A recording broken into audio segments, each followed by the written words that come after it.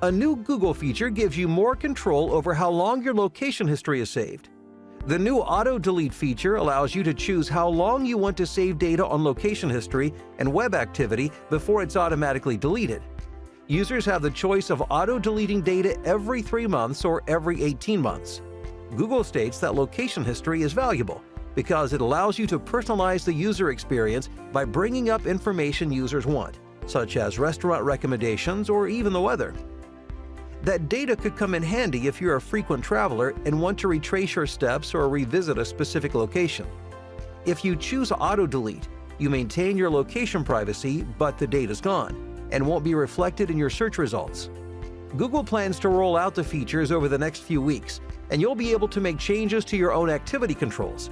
Last year, Google was sued for collecting location history data. An investigation found it tracked users even after they went into their settings and turned the feature off.